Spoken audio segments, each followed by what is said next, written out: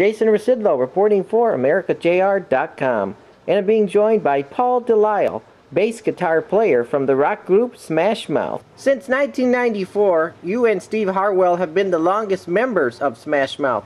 What's kept you going this whole time? Yeah, that's, that's true. Uh, I don't know. we are the, uh, the two sole survivors for sure.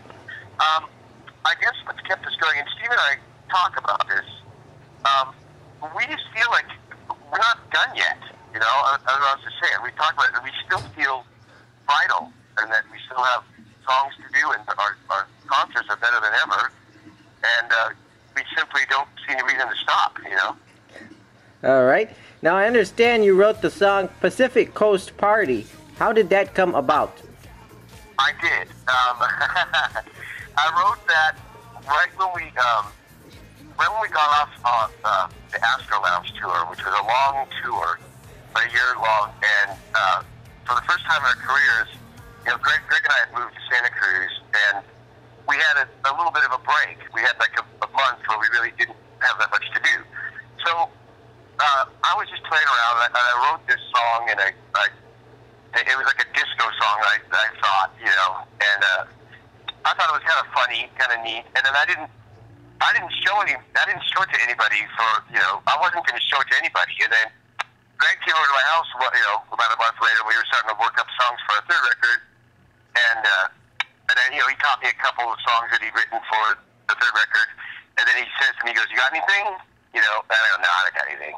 And at the and right then, uh, my my then wife walked by and goes, "Show him the disco song." And I go, "Nah, you know." He's like, he, she's like, "Come on, show him the disco song." Greg's like, "Yeah, show me the disco song." So, so I played it for him, and he's kind of laughing. Then he goes, "Wait a minute, play that again."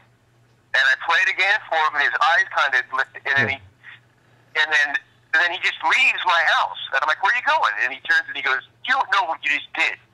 And the next day, he goes, "Come over to the studio," and he had worked up a uh, an arrangement for it. He actually recorded a track for it, and then I was really excited. And then we just, you know, so Greg kind of championed it, you know, and you know, he was the one that was kind of like, "Hey, Paul wrote a Paul wrote a really good song," so that was kind of a nice.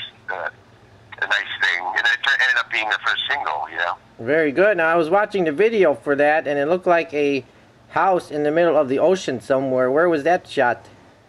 Yeah, that was just at a uh, at a sound stage in Hollywood. You know, it was all smoke and mirrors. You know. Oh wow. there was like this little waiting pool in front of the stage that they made look like a big ocean. You know. That must but that been- was a, that was a, that was a fun video to make because you know Yeah, it seemed like a lot, it. of, lot of lot of pretty girls in it. now, All Star was among your biggest hits. Did you know it was going to be something special when you were working on it?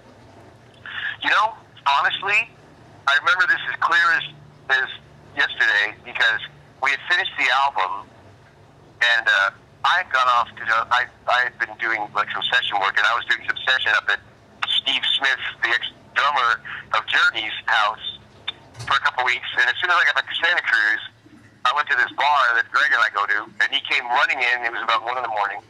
And he goes, come to my truck really quick. And he had, he had done demos of All Star, and then the morning comes, just hot off the press. He had just written them and just demoed them. And honestly, after I heard the first two together, I thought then the morning comes was the was going to be a bigger hit. Uh, so much I know, it was a hit, but it wasn't anywhere near as big as All Star. So, you know, they, you know, Greg had presented them to me both at the same time, and I knew they were both great. But I, I thought then the morning comes was the, was a little bit, you know, the better song. But then you know, All Star just just took off. So I guess that's why I don't choose the singles. You know. Yeah, very interesting there. Now you're going to be performing in downtown Palm Springs on March 14th. Can you give me a preview of that show?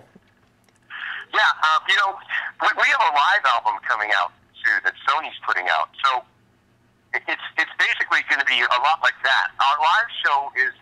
I can't wait for this live album to come out because you know it's it, we're a different band live than we are you know than our records. It's much more of a real rock band. Like the you know uh, we have a great drummer. It's, it's just everything's kind of ramped up a few notches. You know. Yeah. So it's it's much more you know, we're, we're a solid live band, so that's what the people can look forward to. Is it's it's much more explosive live, you know, when the solo when the uh, when the um, live album comes out.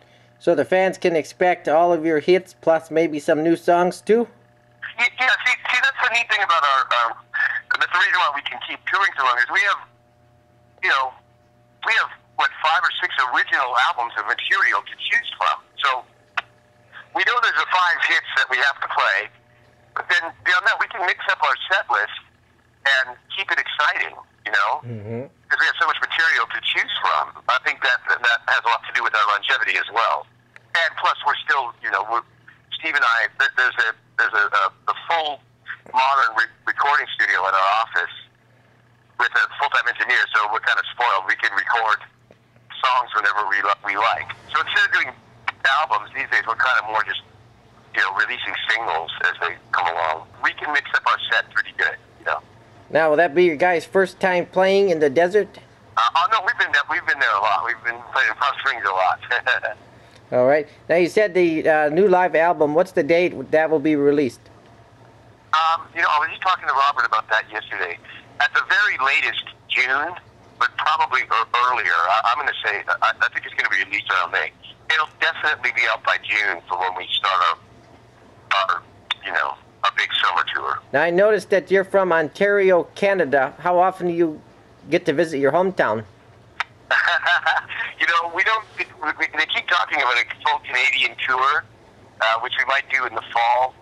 Uh, I don't get back there as often as I as as I'd like. Uh, I went and visited my cousin in Kingston not too long ago, um, and uh, my, my both of my parents are from Ottawa, so my whole family's up there. So yeah, not as often as I'd like. They're they're always up there in the summer, and that's what we're it's our busiest time, you know. Yeah, I'm I'm from Detroit, so I've imagined you've played there several times. Oh yeah, I, you know, I lived in that. My my father was an airline pilot, and he was in the Canadian Air Force. And uh, when he was first hired by United Airlines, I lived in Ann Arbor for a, a couple years. Oh, very nice. I, I was too young to know that at that time, like the MC5 was going on and everything, you know. Yeah. Now, can we expect some new material from you guys anytime soon? Yeah, but um, like I said, we're, we're always uh, we're always recording new new music, and then we just sort of slip them into our set. And um, you know, sometimes we'll even throw in a cover song or something of, of stuff that we've done throughout the years. But like I said, we have so much. Uh, we have such a wealth of you know uh, back catalog of, of music that um, you know makes our sets kind of new every time we go out. But we definitely have a new show, you know, every every few months or so. We mix it up. Personally, I love touring.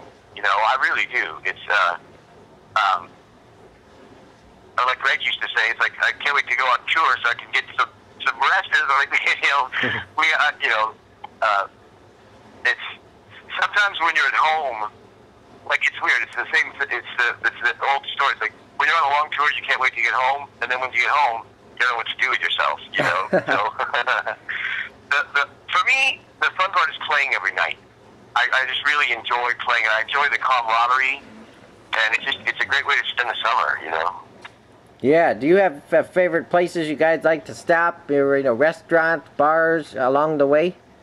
well, there's always the truck stops, the good old Flying J, you know, at, at 3 in the morning, 4 in the morning, when bus pulls in, you know. Yeah. and, you know, Wa- Waffle House is always good, you know. now, since you've been around since 1994, what kind of advice would you have to others that are trying to get into the business for as long as you guys have been? Uh, don't do it. um, I guess just the same thing that we did. Just just be persistent, and and the, the key is you have to love playing. You, you have to love what you do. Um, if you're just doing it to try to make it, or just because you're trying to, you know, for any other reason than the love of music, you're probably not going to stick around too long. We simply love what we do. All right. Any other final comments here before we wrap up? Uh, no, just can't wait to see you in Palm Springs, and um, you know, it's gonna be a great show. All right. Thanks so much. And uh, as you said, we look forward to seeing you guys in downtown Palm Springs on March 14th. Thanks so much. Thank you, Jason.